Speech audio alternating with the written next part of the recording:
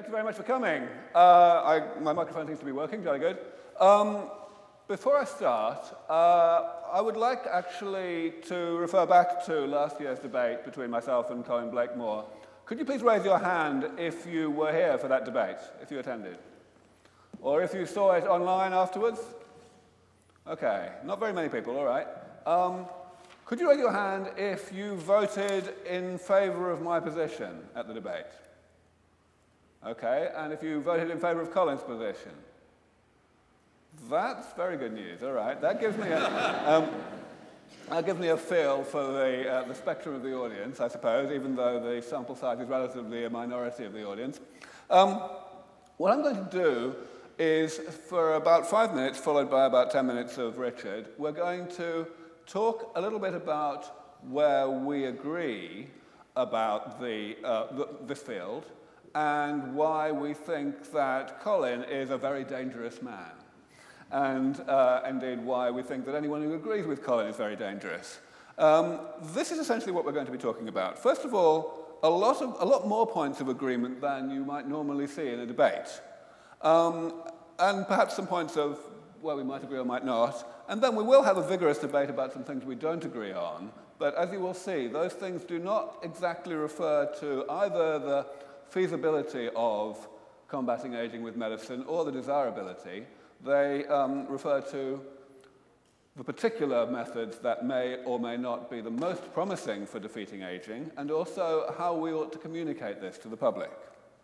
So, uh, these are the things we agree about, and we agree about so much that I'm afraid the font is rather small. Um, first of all, we agree that intervening in the aging process, in other words, postponing the ill health of old age to an older age than it naturally occurs at, is a morally desirable goal. And in fact, that anyone who fails to recognize this, even though there are lots and lots of you out there, is just making a mistake. That this is philosophically and, you know, it's just fallacious. Furthermore, we agree that there is a good chance of doing something in that direction, of postponing the ill health of old age. We believe that the aging process is malleable and therefore that it's a valid research theme, a research goal, to try to do medical research in this space. Uh, we, we believe that partly because of results that have already been obtained in the laboratory. And this actually alludes to something that, as you will see later on, Richard and I do actually somewhat disagree about. But nevertheless, the general point here that we have seen progress in postponing aging in the laboratory does give reason for confidence that one or another way we will actually achieve the same thing in the clinic in due course. Finally, what this all adds up to is that research into the biology of aging, into actually finding out enough about aging to do something about it and then trying to do something about it is a vitally necessary research activity and therefore that it is grossly underfunded. And we'll talk about exactly how underfunded in due course. So, you know, Richard wrote this slide and he described it in a very, um, you know, um, self-parodying British way as a strange view to hold. Um, uh, but we are going to convince you that even if you have some doubts about this right now, that it is actually the right view to hold. Uh, you may currently think we're both wrong, but we're going to fix that. So I'm going to actually elaborate on that a little bit more by reference to an interview that I did um, that was published on the BBC website not long ago, a few years ago.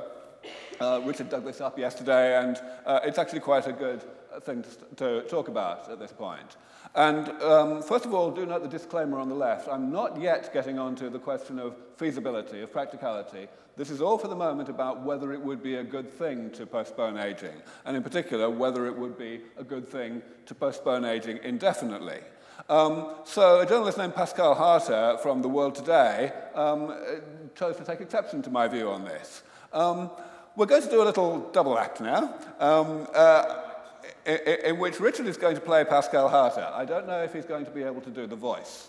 Um, but anyway, uh, what we have here is um, something that I said during this exchange. I said, older people will not just look like young adults when they are beneficiaries of these therapies, they will actually feel and function like young adults in every way.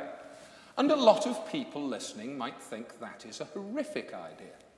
The cycle of life has certain benefits. It creates space in, in a company for the new to come up and take their turn. And I said, it's certainly the case that the elimination of aging would bring about an enormous number of changes in society, but that is not a reason not to do it. So essentially what this means is that this, this lady, Pascale Harter's ethical stance is that on the one hand, the elimination of late life disease and morbidity is a horrific idea, but on the other hand, she's in favour of addressing, arbitrarily well, you understand, the specific diseases of old age, such as Alzheimer's disease. If you go and look at the web, web page that I um, referenced earlier, you'll see that earlier on in the conversation she had actually made this statement. So what's going on here? How can someone be comfortable with killing older people in order to allow younger people to be in charge when one's also in favour of keeping people alive by helping them not to have the diseases they get? Is she in a state of ethical contradiction in some way? And if she is, does she even know it? So let's actually look at a somewhat similar but subtly different version of the conversation that actually occurred. Here it goes. Supposing we have therapies that really, really cure cancer, and we apply them on people. And I say, people who used to have cancer will not just look like healthy people, they will function like healthy people in every way. A lot of people listening might think that is a horrific idea. cancer has certain benefits. It creates space in a company for the new to come up and take their turn. It's certainly the case that elimination of cancer would bring about an enormous number of changes in society. It would be very hard to keep a job as an oncologist. But, uh, but that's not a reason not to do it. So, you know, it's a bit of a weird thing here. All I'm saying is, hello, you know, aging causes suffering and death. It kills people. Uh, suffering and death are generally considered to be not a good thing. Therefore, the removal of any cause of suffering and death, especially the one that causes more suffering and death than anything else in the entire world, which of course aging is, is thus a moral imperative. And ethically, so this is obviously an ethically coherent, factually accurate approach. Now, this woman, Pascale Harter, said the natural cycle of life suggests that aging is a good thing because aging is a natural thing. Uh, whereas in some ways she feels that diseases are not natural and therefore it's okay to think that diseases are bad. This is what often has been called the naturalistic fallacy, and unfortunately the naturalistic fallacy is actually a bit of a fallacy, to be perfectly honest. Here is um, a spectrum of things that demonstrate rather clearly how fallacious the naturalistic fallacy is. We have on the top row a bunch of not terribly good things that are natural, tsunamis, volcanoes, the Black Death, and on the bottom we have a number of completely unnatural things, products of technology, which of course by definition is unnatural, and which we seem to rather approve of, you know, umbrellas and houses and books. And, you know, it, it, it, it doesn't really take a rocket scientist to see that this is, um, this is how things are. So now I'll move on to Richard, who will talk about other stuff. Hopefully, is my mic on? Yes, okay. It falls to me to do the controversial stuff, okay? I have to tell you that aging can sometimes be quite bad. Okay?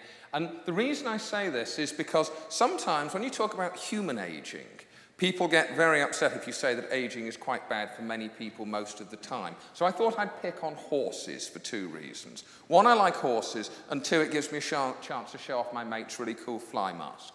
So if you, score, if you ignore people and concentrate on old racehorses, about 10% of them are too fat, about 15% of them are too thin, about 80% of them have a gammy leg, all of them have a dodgy joint, 39% show abnormal molting. And speaking as somebody who shows abnormal molting, I feel this is a greatly under-researched area. Okay? All of them have problems seeing where they're going, and most of them have problems seeing what they're eating or indeed eating it. Okay? And if we move from one set of animals that I care about a lot to another set of animals that I care about a lot, you'll see the problem. This is data kindly supplied to me by Tom Kirkwood from the Newcastle 85 Plus study.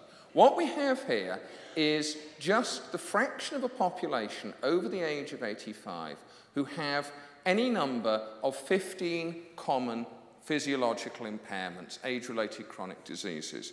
Virtually no one is disease-free at the age of 85, but the goal of our research, ideally, would be that everybody was as disease-free as we could make them for as long as we could make them. And we are a long way from achieving that. The average 85-year-old will be carrying around between four and six chronic conditions that compromise their independence, that reduce their quality of life.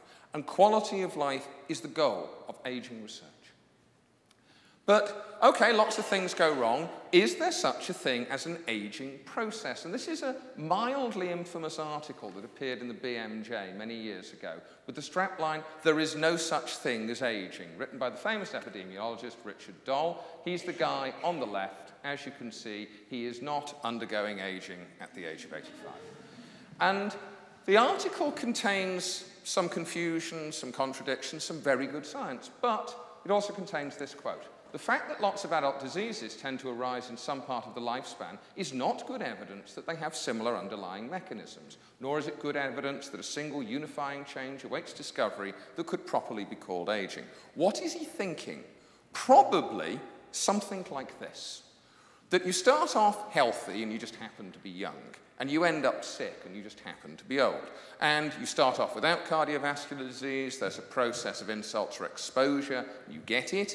You start off without cancer, there's a different process, you get it. Start off without AD, a different process, Parkinson's, etc., etc., and ad infinitum. This is the way that disease-specific research is currently structured. It is also the way communicable disease research is structured, and for very good reasons. There really are different causes for different conditions. Okay. Is this an example of no fool like an old fool? No, it's not. Doll's argument is a perfectly reasonable example of deduction a priori from the epidemiological data, and Richard Doll is nothing if not one of the world's great epidemiologists. Perfectly reasonable in 1967. By 1997, at least in my view, it was essentially untenable and had been so for a while. It has a strong prediction that if every disease has a distinct cause, then a single change should not be able to cure multiple diseases because they're parallel track. Unfortunately, does it come? Oh, did that beautifully. There we go. Unfortunately, from the 80s onwards, with the pioneering work of Michael Klass, it became possible to isolate single gene mutations, first of all in C. elegans, subsequently in Drosophila and in mice, which show greatly extended healthy lives. The reason that they show extended healthy lives is that they are much healthier. They are extended health span mutants, so far as we can tell. This is an area that is ripe for more research, but all of the data is consistent with this. They live longer because their all disease mortality is reduced. I couldn't come to Oxford without showing an insanely complicated diagram, giving you five minutes to copy it down or less and then setting it on an exam in three years' time. So most mutants are in the IIS pathway. And you might turn around and say, oh, well, they're mutant animals, who cares? Then came this. This is rapamycin. It works here in the pathway with the big red cross across it. And it has a very interesting effect, which is if you administer this to animals, even in mid to late life, you see a significant extension of their lifespan. However, there are more than a few straws in the wind here that show we are not lengthening life, we are lengthening life through the improvement of health. We are improving health span, we hope. Again, this science is a progress report, nothing more, a subject to which I shall return. And it's not the only game in town. Okay? There are also mutants which accelerate aging. This is Werner's syndrome. In case any of you are wondering, the guy on the right is the guy with Werner's syndrome. The guy on the left just has a weight problem and a tie that was absolutely state of the art in 1989 and has yet to return to fashion. Okay? At least in my scientific opinion, my group works on Werner's, the most likely cause of this terrible disease is the accelerated accumulation of senescent cells. There are people who will give you an argument on that, which is matter for another day. However, there, are at least some, there is at least some evidence in the scientific literature now that the deletion of senescent cells will also improve health span, which is a positive thought. And so, just to summarize the scientific section, the fundamental biology of aging probably doesn't look like this. It probably looks like this, where you have a few mechanisms, and I'll call them aging mechanisms, that cause, when acting together, the things we think of as the diseases of aging. I've put that in quotes as well. And it is these that cause the morbidity, the loss of independence that we are trying to target. And this is an incredibly hopeful slide because it offers the potential for a broad spectrum preventative medicine, a preventative geriatrics, if you will, which would target multiple late life pathologies and impairments. It offers hope. It does not offer tablets. Okay? And I will move through now to the funding situation. It's amazing, isn't it, how science fiction and science fact can sometimes collide. In the 1960s, John Wyndham wrote this book, The Trouble with Lichen, in which an antibiotic, which dramatically slows the aging process, is isolated from a rare fungus. Well, we've got that now, we've got the name wrong. Okay, society then convulses, none of which you appear to be doing, as it tries to deal with the consequences. It must have been great to have been alive in Wyndham's time. I love the quote. I can't work out if he's parodying Winston Churchill or Jim Hacker or both. But it's just, you know, Antigerone was a British triumph. You need have no doubt, you know, the government therefore proposes an immediate grant of 10 million pounds to subsidise research. You need have no doubt that British brains, British purpose, and British know how will succeed in the very near future. A dubious thing at the best of times. But if you're interested, the, count, the Research Council's grant at the time Wyndham wrote this was less than 20 million pounds. It's quite a substantial budget hike, and it hasn't occurred. And that is where fiction and fact diverge pretty sharply. If you're interested, these are rough figures because I have better things to do than to appraise them, reappraise them week by week. That's the national budget. That is the NHS cost. It's the single largest item on the budget. That is the Oxford Institute of Research's best estimate for the costs of ageing to the NHS. That is the science budget down there that looks like a thick line. And those of you with exceptional eyesight who can divide that line by several hundred will encounter the aging budget. And all I'm trying to say is that the field is not swimming in money here. Okay? And if anything that was done in any of the mainstream labs could impact morbidity by a fraction of 1%, we would not just pay for aging research, we would pay for a large chunk of human endeavour as is captured in universities. And there are some economic arguments underlying this. There's a rather nice study from the RAND Corporation on what are the, the economic implications of anti-aging medicines. A compound capable of adding healthy years to life expectancy is by far the most effective intervention that we have. The RAND calculated that using this, you could buy an, an extra life year for about $8,000.